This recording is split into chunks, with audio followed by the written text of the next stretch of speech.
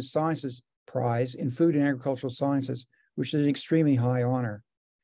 Christina was also awarded the 2022 Penn State President's Award for Excellence in Academic Integration.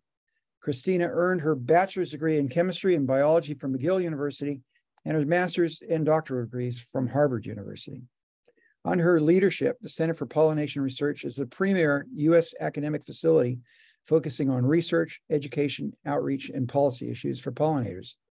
It includes members from nine colleges across Penn State and uses an integrative approach from genes to spatial ecology to support the health of bee populations.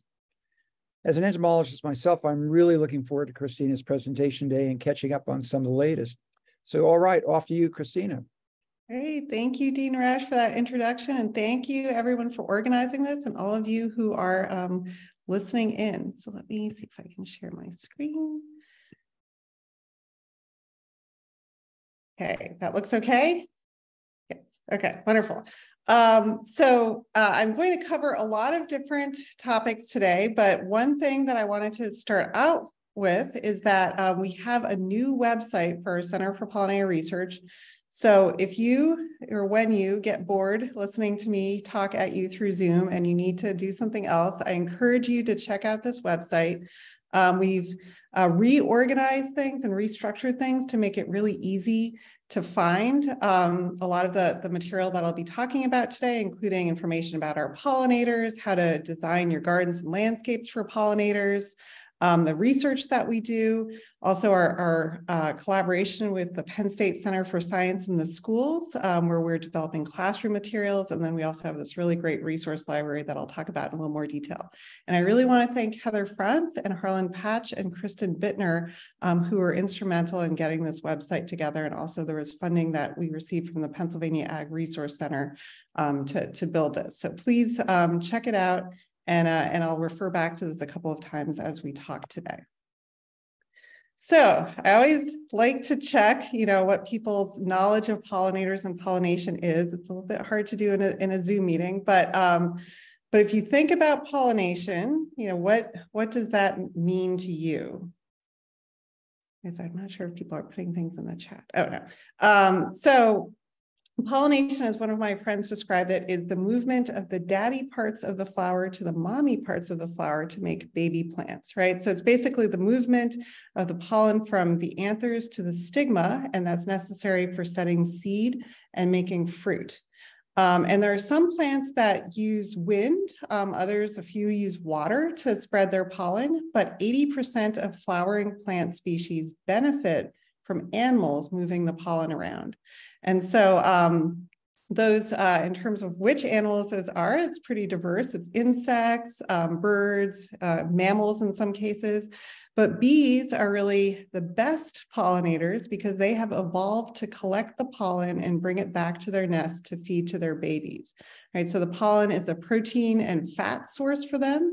And so they um, have all of these adaptations to be able to collect a lot of pollen and move it around. So they're very fuzzy. Their hairs help them pick up pollen. They have certain behaviors like buzz pollination to release the pollen from the anthers. And then some bees, like this honeybee, have pollen baskets, right? So they're um, they end up being the most um, efficient and effective pollinators in many cases. Okay, so why do we care about pollination?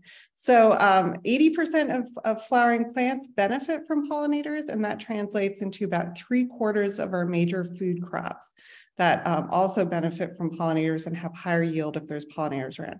So these are things that you would expect, like um, your fruits, and vegetables and your nut crops like almonds. It's also things where you need pollination to make seed, right? So like in the case of carrots or broccoli, it's very essential things like our coffee. Um, and then some things that you might not expect. So how is cheese pollinated? Well, um, our dairy cattle will eat alfalfa, which requires pollination to set seed. Um, wood, this is a picture of our uh, black cherry wood, which is really an important timber um, source for our industry here in Pennsylvania. And uh, that also requires pollination. And then also things like cotton benefit from pollinators. And so we did an analysis with colleagues at University of Pittsburgh, and we found that about $34 billion of um, the US agricultural economy is, is driven by pollinators. And then in Pennsylvania, this translates into about $250 million um, into our agricultural industries coming from these different crops that I've shown here. And these numbers are a little bit older. It's based on the last time there was a, a census done of, of US agriculture. So these are, of course, going to be higher now. Uh, the important thing also to remember is that we need to have a lot of different kinds of pollinator species. So we think often about honeybees primarily, um, but we have a, a number of different um, bees and other species that contribute to our agricultural systems. So squash bees are important for pollinating cucurbit crops. Flies are the second most important pollinators after bees um, for agricultural crops. This is a, an Osmia mason bee. So these are one of our early spring flying bees and uh, they're important for orchard pollination. And if, if you uh, like tequila, it is uh, coming from agave, which is bat pollinated. So the next time you have a cocktail, be sure to thank your friendly pollinating bats for that. Okay, so where do bees live? Um, so about 70% of our bee species actually live underground. So they, they dig tunnels underground and they make their nests underground. And then 30% of bees live in above ground nests. And these could be um, in, in stems that you would find uh, in the pithy stems of shrubs or in, in dead trees. Um, and then others will also live in, uh, in cavities um, such as in, in holes of, of old trees. And so uh, you know, this is sort of what it looks like if you actually look at the nest. So the ground nesters would be things like our sweat bees, cellophane bees, squash bees. The stem and hole nesters would be our carpenter bees, our orchard bees, leaf cutting bees, and then cavity nesters, of course, are honeybees and bumblebees. And when we think about what do the bees need in their habitat to be able to survive, so obviously they need a place to build their nest. Um, but then they also have to collect food, which again, pollen and, and nectar are their primary food sources. And then um, they also need to collect things to build their nests with. So leaf cutting bees would be collecting pieces of leaves, for example. Mason bees would be collecting mud. So what's happening with our pollinators? So I'm sure you've all heard about pollinator declines and, uh, and these are being caused by multiple interacting factors. Um, so in Pennsylvania, beekeepers report about 40 to 50% of their colonies die each winter. And this is coming from a survey that they've been doing for several years now. Um, when we look at bumblebees, which are one of the more um, charismatic wild bee species, and so they're, they're, uh, they've been well studied, 50% of the bumblebee species in the US are showing declines, and there's one local bee species, the um, rusty patch bumblebee, that's on the endangered list. I like to show this picture of the distribution of Bombus pennsylvanicus, because I think this should be our, our state bee. And so in uh, gray, you see its historic distribution. So it was really all over the eastern US. And then these circles are where researchers went to sample bumblebees. And if, um, if the circle is colored in with orange, that's where they actually found Bombus pennsylvanicus. So you can see that they basically did not find it um, on the on the eastern part of the U.S. in nor in Pennsylvania, and so now it's really only found in sort of the Midwest region, right? So this is a, an example of a really strong range contraction. And then for monarch butterflies, their populations have declined by about 80% uh, over the last 20 years. So these declines are consistent with declines that we've been seeing with insect populations more broadly. Um, and, and so again, honeybees and uh, wild bees have been really well studied because they're so charismatic. But as we start looking into these other species, we're also finding these declines. So what is causing these declines? So um, one of the major causes is habitat uh, degradation and loss and fragmentation, right? So if you think about a very highly agricultural area or a very urbanized area, there's really no place for bees to nest and nothing for them to eat. Um, there's also concerns about insecticides. Uh, bees get sick just like we do, so they have viruses and parasites. And then climate change, of course, will cause extreme weather, which will be problematic for bees um, but it also causes changes in, in seasonal weather patterns that can um, affect the plants that the bees need as well, right? So if there's drought conditions, the plants are not going to be able to produce as many flowers and there won't be as many resources for the bees. The good thing is in, in Pennsylvania, we're actually in a really good position with the way our landscape is structured and the way our agricultural systems are structured. So we have a very diverse cropping system, um, one of the most diverse in the country. And so that means a lot of different kinds of foods for bees and a lot of different kinds of fields. Our fields are relatively small, and that means that um, they're surrounded by natural habitat uh, in, in very close proximity that the bees can live in and then move into those fields. And so David Biddinger, who's a professor in our Department of Entomology and at the Penn State Fruit Research and Extension Center, has been doing work on pollinators in fruit orchards for many years. And he's found that there are about 235 bee species that he can find in these orchards, and more than 50 of these were actually visiting the flowers of apple and cherry trees, right? So there's a lot of, of wild pollinators that are, that are present in these orchards and providing pollination services.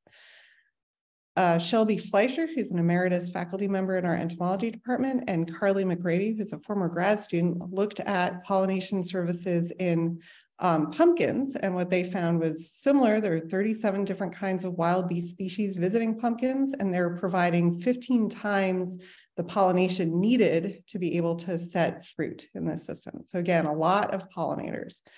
Uh, Shelby Kilpatrick, who is a former grad student in entomology, and Professor Margarita Lopez Uribe developed a checklist of bees in Pennsylvania.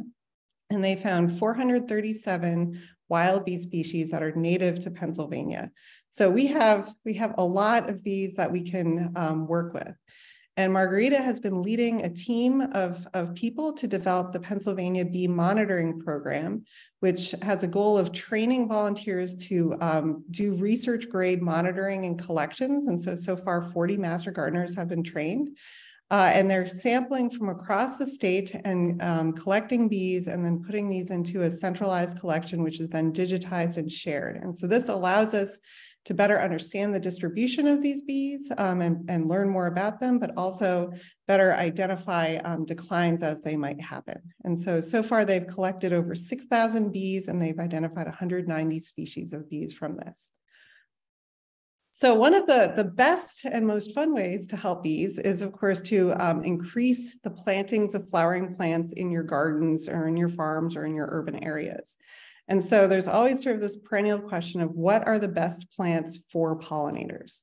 And when we look at flowering plants, there's a lot of um, variation in them, right? So they come in different shapes, they come in different colors, they have different scents.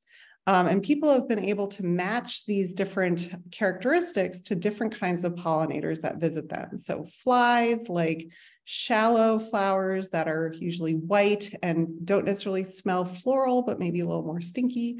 Um, hummingbirds and bumblebees like flowers that have deep corollas and they can access those um, because they're large enough to get in there. Um, but when we sort of think about this diversity of plants, really what is important for the bees and for the other pollinators is the kind of resources that these plants are providing. So the nectar and the pollen. So is there enough of it and is it of um, enough nutritional quality? So I like to show this picture. This is showing um, honey samples that uh, Kate Anton, our, our beekeeper in the Center for Pollinator Research has collected, and then also the pollen samples. And you can see that they vary greatly in their color. And so that um, they also vary in terms of their nutritional quality as well.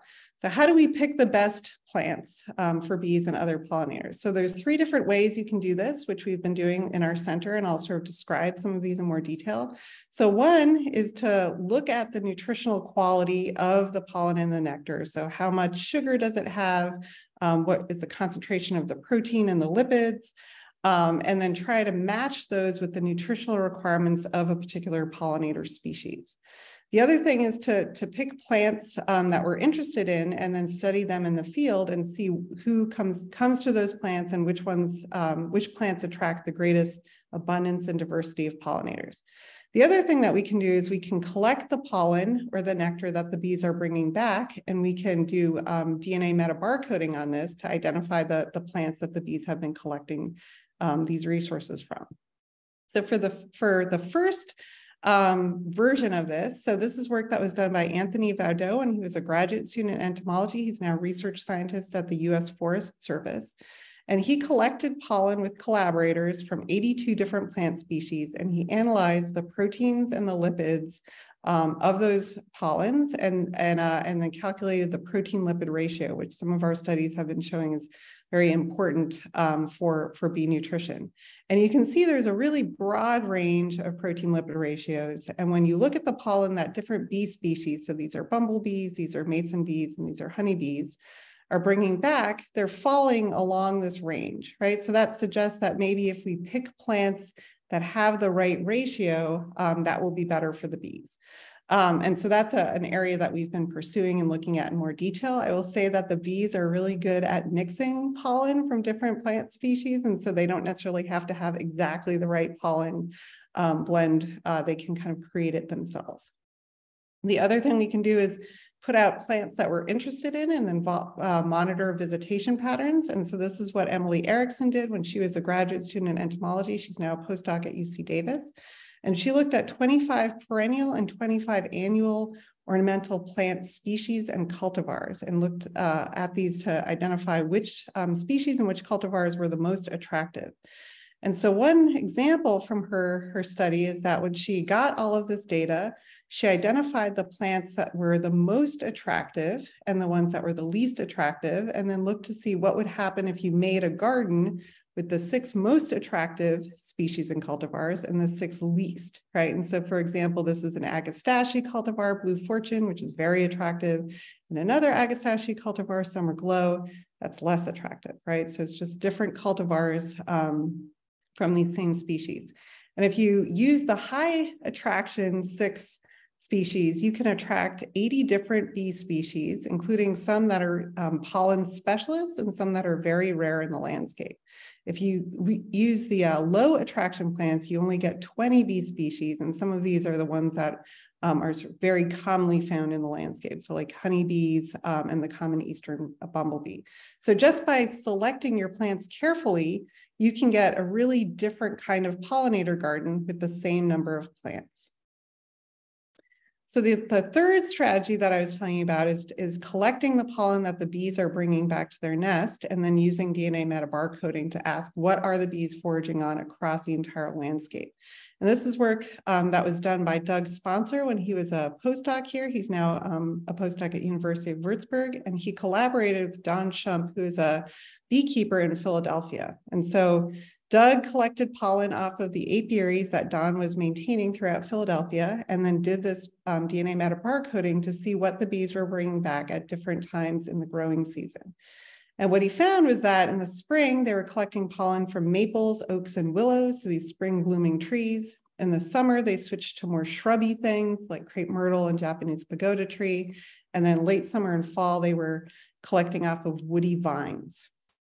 So um, I'm, I'm sure some of you at least have heard about this No Mow May movement, um, which is something that was started by a, a nonprofit company or nonprofit group in the UK. And the idea is basically, you know, don't bother mowing your lawn, let the, the lawn weeds flower.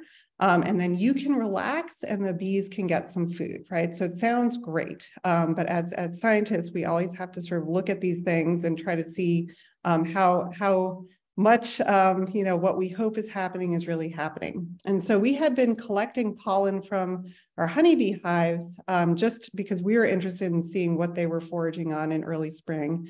And um, so we had the stash of pollen that we had collected um, from 2021 and we analyzed it using our DNA metabarcoding. And what we found was that in April to May, they were going to trees and shrubs. So this was maple, oak, and willow, and then um, fruit trees in early April as well.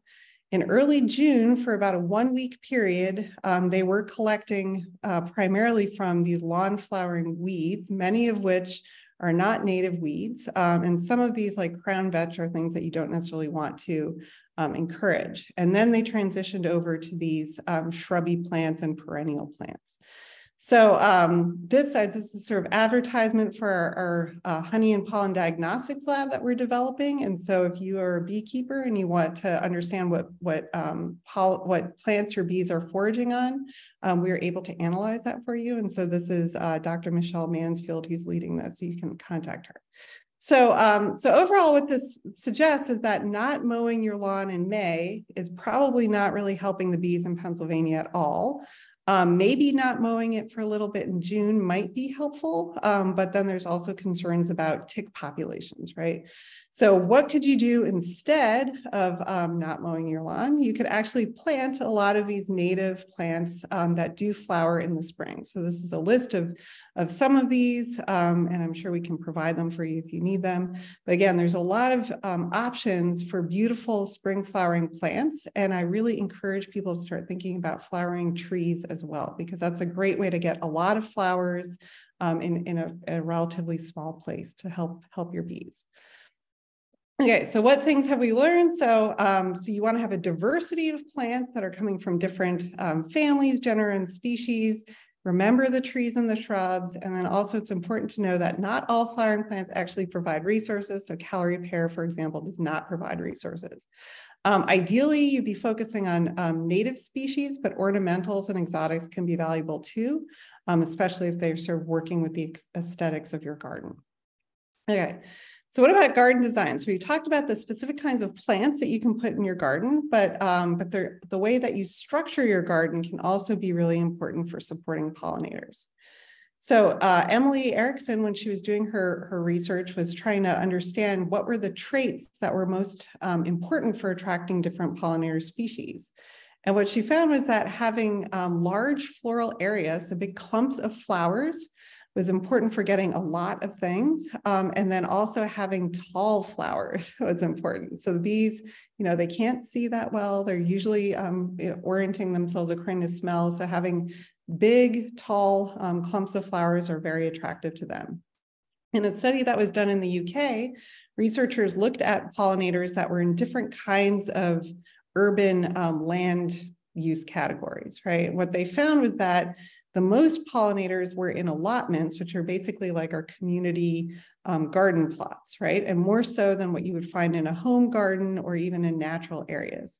And the reason for this is that when you have this small piece of land that you're trying to grow your, uh, your home garden, your home um, crop garden off of, you plant a lot of things and you plant a lot of diverse things. And so, um, so these are just really chock full of different kinds of flowering plants and they're very attractive to the bees.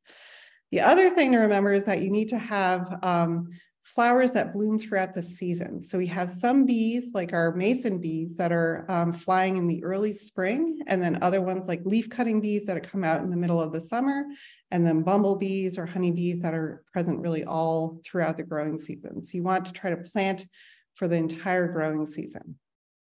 So adding on to our list of things, and so we have to consider a season-long diversity and abundance of flowering plants. All right, so where can you learn more? I have a website for you. So you should go to our website um, and we have uh, landscaping for pollinators. And if you open this up, you can get information about what to plant, how to develop um, habitat for solitary bees. And then very importantly, you can get information about the pollinator habitat certification program that the master gardeners have developed. And this is a great program. It really walks you through step by step of what you need to do in order to develop um, a really uh, effective pollinator garden and habitat that can support a diversity of pollinators. And there's been over 1,100 gardens that have been certified in Pennsylvania. Um, and Connie Schmotzer is the lead on that.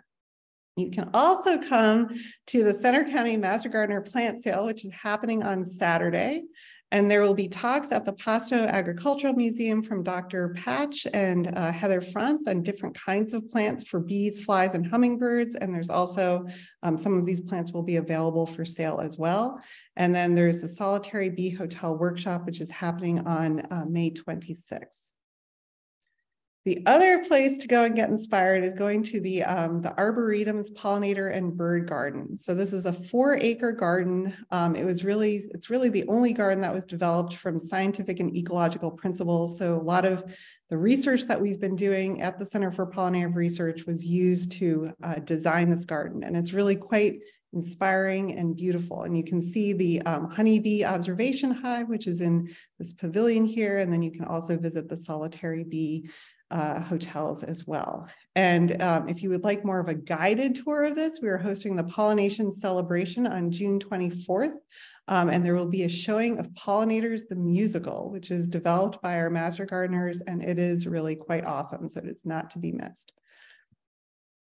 Okay, so um, when you think about your garden, it's usually a, a, relatively small space, right? And it's embedded in a much larger landscape. So um, in this view from of Adams County, you know, if we have a honeybee colony in the middle here, the bees can actually forage across this entire area, right? So how do you know what um, your landscape is providing for bees in this area?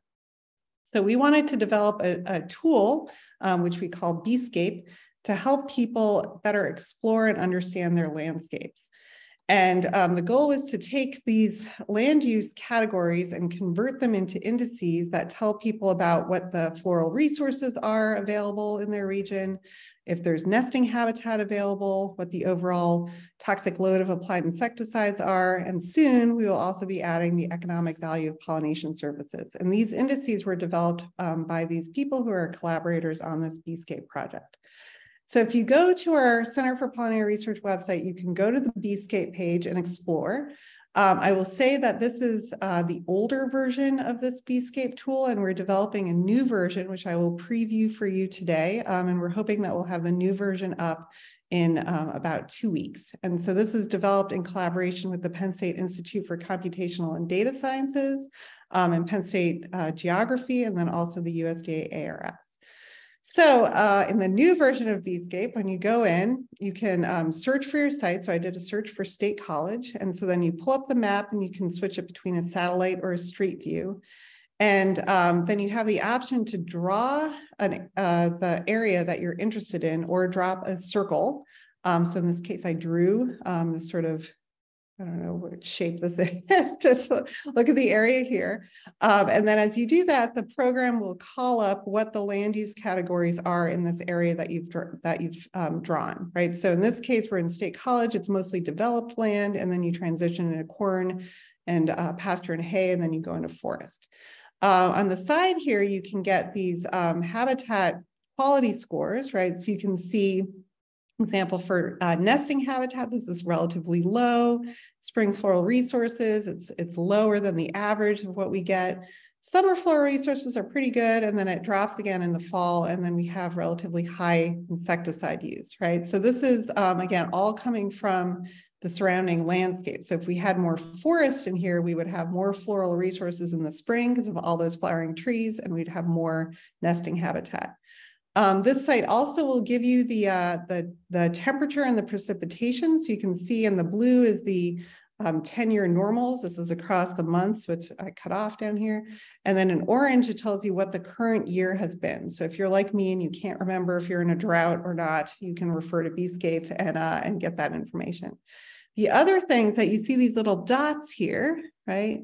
So that is data that's being pulled in from iNaturalist. Um, and so for the, the flowering plants and the pollinators that have been observed in the area. So in this case, you can click on the dot and see that somebody has seen northern spice, spice bush. Um, and this will be sort of for around the time, um, this will be calibrated to, to the time that you're going into Beescape so you can see what's actually blooming and what's present at the time um, that you're looking at it. And so if you need to improve your floral resources, this can give you some ideas for how to, how to do that. Okay, so your landscape context is important. So maybe try to convince your neighbors to also create pollinator habitat. Okay, so I've been talking a lot about pollinator habitat, which is important for um, for wild bees and also for honeybees, of course, since they they use the flowers um, that we're planting in these these areas. But honeybees, of course, are managed, and so they have um, some different characteristics. So I'm going to switch over now to talking a little bit more about honeybees. So our beekeepers in Pennsylvania are awesome, and they have been collecting data on the uh, winter losses that they've been experiencing for, I think, over 15 years now. So we partnered with them um, a couple of years ago to add some questions to their survey that we could then use uh, to better understand the drivers of colony losses in Pennsylvania over the winter months. And so we um, recently analyzed the data that was available from 2017 to 2012. Um, this is looking at the number of colonies that are alive in November um, and then how many are alive the following spring. And this uh, data that I'm showing you will be is uh, has been um, analyzed by Darcy Gray, who's a master's student in our ecology program, and then also in collaboration with Sarah Goslee and Melanie Kammerer from the USDA ARS. Um, so we have beekeepers from across the state reporting. Um, we had over 3,000 survey responses uh, representing nearly 24,000 colonies. And so what did we find? So we found that the average loss was about 50%. Um, and in uh, the best year, it was 43%. The worst year was 55% loss. Um, honeybees have a parasitic mite called varroa, and treating for varroa is really important to ensuring winter survival. So beekeepers that treated for varroa had much higher survival than beekeepers who did not treat for varroa. There's multiple kinds of treatments that you can use. And so what we found was that beekeepers that used one kind of treatment um, had higher survival, but if they used two kinds of treatments, it was even better, right? So this is sort of the integrated pest management approach where you use multiple ways to, to manage your pests. Um, when we looked at the different kinds of chemicals that people use, so there are these soft chemicals versus uh, more hard insecticides, there was no difference in um, terms of survival. Uh, and then this is sort of the breakdown of the different kinds of things. So formic acid, thymol, and oxalic acid would be sort of soft organic chemicals, and then amitraz as a hard. And you can see that um, survival rates were about the same. There was a question that was submitted about uh, when should you apply oxalic acid, and you should apply it when there's no brood, um, and but it can be used um, anytime throughout the year, but it's most effective when there's no brood. So um, when we looked at what land use and weather factors were driving winter survival, um, what we found was that if there's better summer forage, right, so more plants in the summer, the colony survival was better. Um, and survival was better if the temperature and the rain in the summer were intermediate, right? So if it's raining too much, they can't forage. If it's not raining enough, there's probably um, not too many flowering plants. When we mapped out the survival for um, colonies that were treated with single treatments versus multiple treatments, what you can see is that um, colonies with single treatments had areas in Pennsylvania where there was very low survival, right? Um, and on, on overall there's sort of average survival but then if you have multiple treatments there's there's better survival across the whole state right so colonies with multiple treatments have higher survival across a broader range of weather conditions so climate smart management for honeybees means uh, multiple treatments um, to control varroa all right, so where can you learn more? You can go to our website. Um, so we have a Becoming a Beekeeper section of our website that you can go to to get basic information. Um, we also have a resource library that you can go to um, and search for information on beekeeping, um, honeybees, and you can do this in English and Spanish. Um, and then there's a number of guides that, that you'll um, be able to pull up on different kinds of topics uh, related to beekeeping. Uh, Robin Underwood, who is our Penn State education educator in apiculture, also runs a number of programs. So there's Beekeeping 101, which is an online course that you can take um, from the comfort of your own home.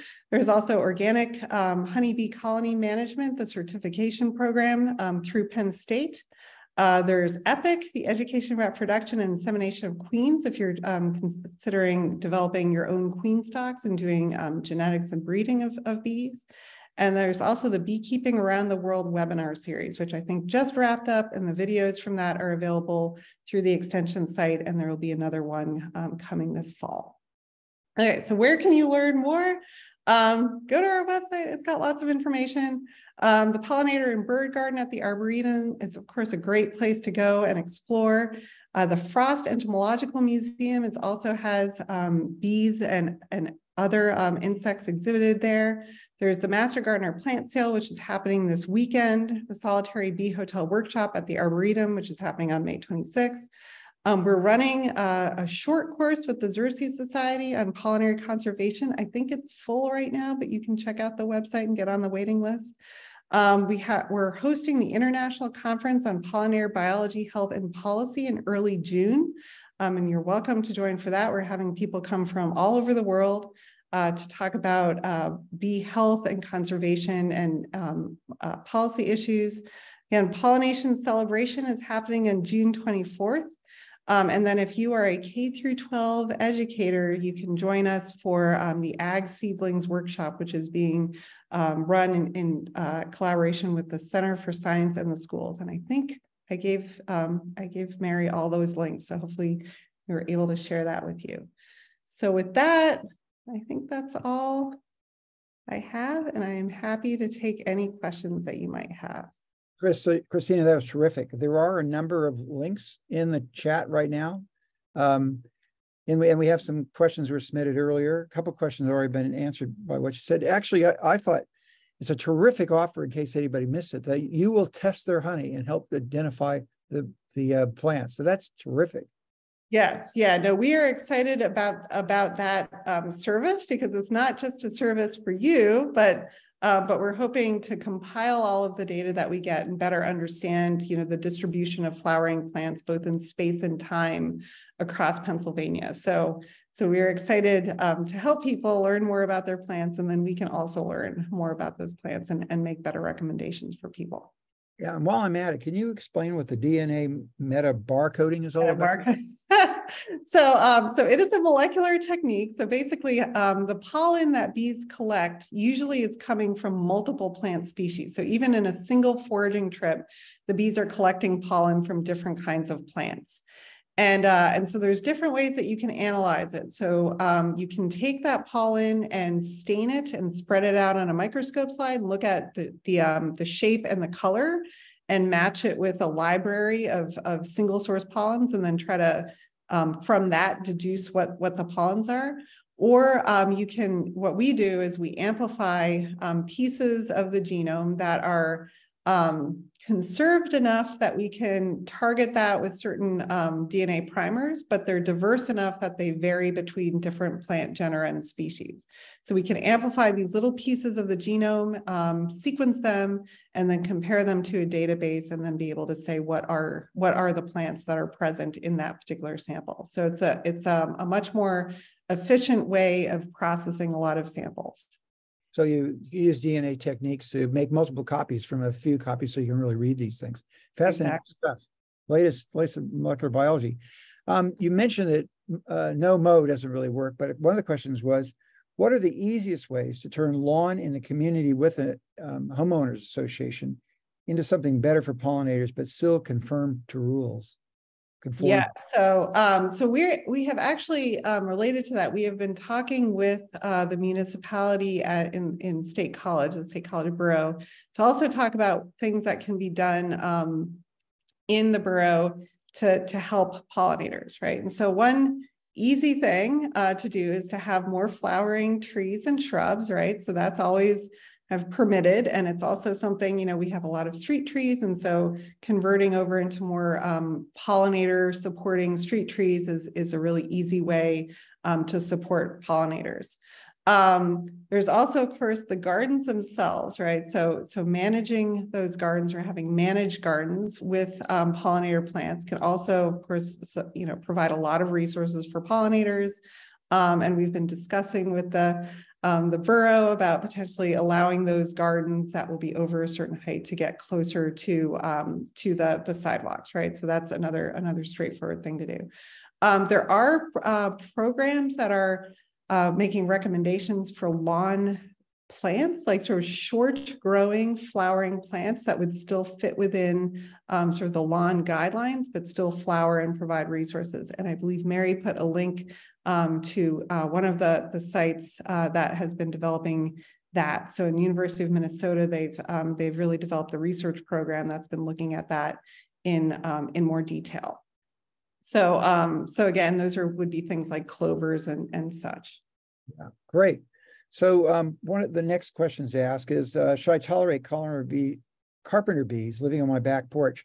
And we talked about this a little ahead of time. And uh, Christina's already um, written a really great um, uh, website about this, and it's the first one in the chat.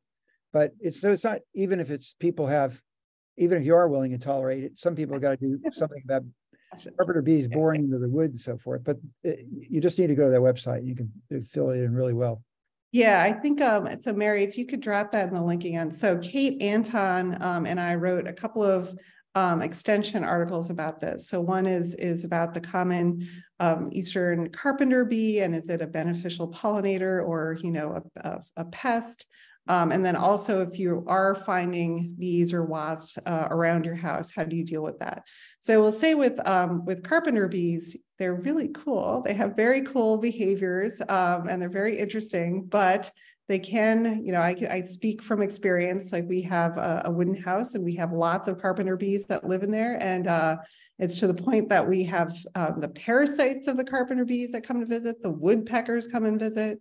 And so um, it, it might be too much to, to handle. So that um, link that Mary shared has a couple of suggestions for how to prevent them from um, from making nests in your house, uh, maybe enticing them to go to a different area.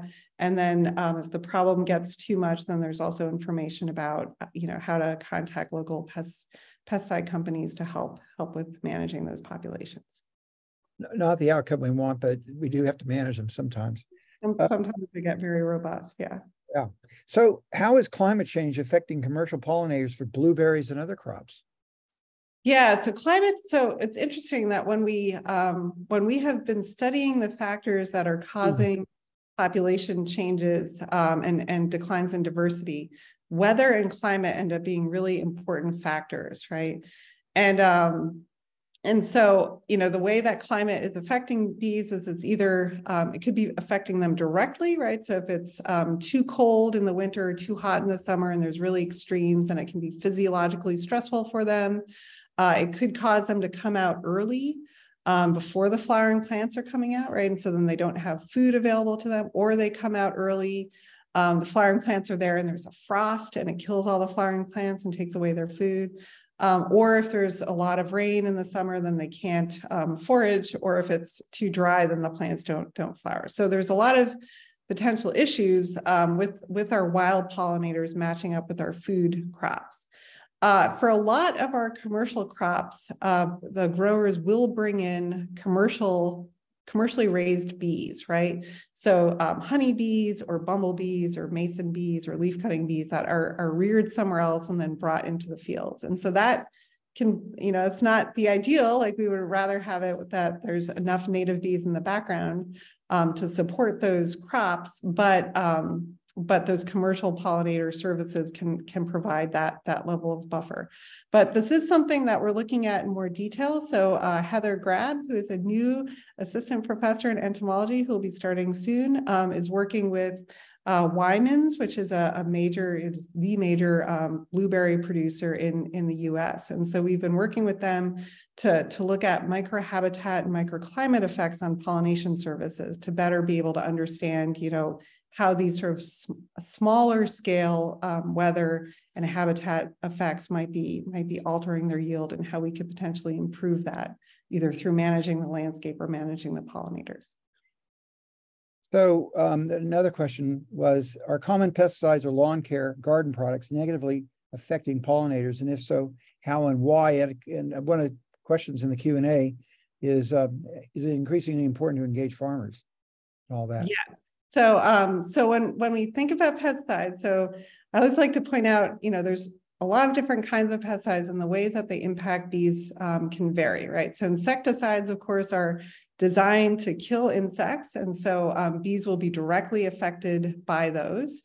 Uh, herbicides, so um, herbicides that are like Roundup that's being used to control weeds um, in home gardens and then also in, in agricultural fields, um, that, of course, is reducing the amount of flowers that the bees have available to them. And it seems to be one of the, the major reasons for um, milkweed declines and therefore monarch declines um, in, in the Midwest.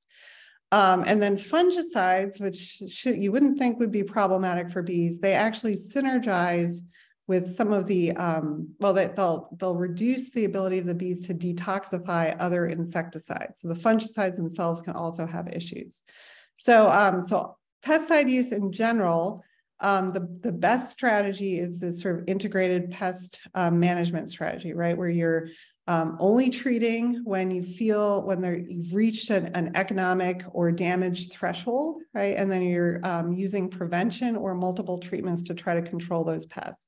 And if you have to use an insecticide. Um, if you look at the label, it'll tell you what the toxicity is to bees and give suggestions for how to minimize um, the bees' contact with it. So spraying um, when the flowers are not blooming or after they've completed blooming or even spraying at night can, can reduce um, impacts on, on bees. And one of our faculty members you've already identified, David Biddinger, works a lot on this, trying to figure out how to uh, minimize in, uh, insecticidal effects Um, does beekeeping create excess pressure on native pollinators and how do we minimize that? Yeah, so um, so there's there's been increasing concern about beekeeping, especially in urban areas where you can have really high density of, of bee colonies um, in a sort of given area. And uh, and you know it would make sense that that the more bees you have, the more flowers you need to be able to support those bees. And if you have a honeybee colony, you know that's fifty thousand bees, right? So it's it's a lot of bees. Um, so in terms of whether or not you see negative effects, I think it's it, and the studies um, that have been coming out on this seem to be very sort of landscape context specific. So if you have enough flowers and you have enough resources, you're not going to have effects. So so my my sort of um, recommendation is just plant more flowers and you can you can help everyone, right? Um, there have been studies that have shown that that the viruses that honeybees have will spill over into wild bee populations. Um, the extent to which those viruses are negatively affecting those, those native bee populations is unknown, but that's also potential negative consequence. But again, if you have more flowers, then you can um, you can dilute that out and then help the bees be um, be have better immune systems. Um, but one thing I think that is important is that you know the the honey honeybees have beekeepers who are really really great advocates for them and for pollinators and and for um, supporting pollinators, including in, in urban areas. And so um, so I, I think it's a it's important to kind of work with work with beekeepers and with land managers to improve pollination services and increase awareness um, of bees and and um, and plants in these areas. I would say that if you're interested in helping bees, um, the easiest thing to do is to plant a pollinator garden. Um, the next easiest thing to do is to put out habitat for uh, wild bees, right? So like these solitary bee hotels. And if you're really committed to a lot of effort and a lot of work, that's when um, becoming a beekeeper in terms of honeybee, uh, keeping honeybees, um, it becomes more feasible. They're a lot of work. Those honeybees, they they take they take a lot of attention. They're very um, they're very wonderful, but you have to uh, really work with them year round. Right. So you've already touched on this some about the disease threat to to native bees by honeybees, but are there some kind of strategies can be used to reduce that contact and spread? Yeah, so that's um, where basically having more flowers in the landscape just provides more resources for everyone, right? And so, um, so having this diversity of flowers will will increase the um, abund- you know, the availability of resources, and then also decrease competition because they tend to go to different kinds of plants. And honeybees, especially like sort of mass blooming things, right? So, so having um, having a couple of those mass blooming things can be really good for them. So, um, Varroa, you mentioned a lot in their guides on your websites. There's guides or integrated management programs of Varroa. Yes, yeah. So, so for honeybees, they have um, these Varroa mites, which uh, which originally evolved with um, honeybees in Asia, and then they moved over into our European honeybees. And uh, and and study after study has shown that if you don't control your Varroa mite populations, um, then you have higher winter losses, right? And so it's really important to, to control those. And, and there's a number of different ways you can do this. So You can get stocks of bees that have more natural resistance to Varroa, like they'll um, they have hygienic behavior where they pull out uh, pupa that have Varroa on it and throw it away so they can smell that and remove it. They will uh, groom the Varroa off of each other. So again, reduce populations that way. Uh, so having those genetic stocks is, is one possibility. Um, other things are these sort of physical uh, management. So if you break the brood cycle, then the Varroa will have no um, nothing to, to grow on, and so they, they don't increase their populations. Um, and uh, and then there's again these sort of soft chemicals that you can use like oxalic acid, and then the harder things. And so uh, Robin Underwood and Margarita Lopez Uribe wrote uh, extension note on managing Varroa that is available through our website. So I encourage people to read that. Right. So are there any state agencies that are um, supporting pollinator gardens and the like? Places people yes. need help? Yep. So, um, so, so in terms of, you know, home gardens, um, you know, this is something that through the Master Gardeners Pollinator Garden Certification Program, you can learn how to, to develop that but also for um, for growers and then for um, if you have sort of larger tracts of land, then you can use, let me see, I have this information. So there is um, there is the uh, Conservation Stewardship Program, which is run through the NRCS, and then also the um, EQIP program, which is the Environmental Quality Incentives Program, um, which is also through NRCS. And so they provide support uh, for people to convert parts of their land into, into pollinator habitat. And PennDOT also has a, um, an, an, adopt and beautify program. So if you're interested in, in creating pollinator habitat along your local um, road systems, and that program is also something that can help you. Um, and then I, I think there should be some links. Oh yeah, so Mary put those links into, into the chat. There's also, um, you can find through uh, the Xerces Society um, some um, uh, instruction sheets for how to develop uh, pollinator habitat, particularly in farmland. So one of our guests is uh, coming from Ohio and wants to know if the recommendations for plants in Pennsylvania would also be good in Ohio. Um, for, for the most part, yes. They're, I mean, they they they will be very similar um, and and should be should be fine to use.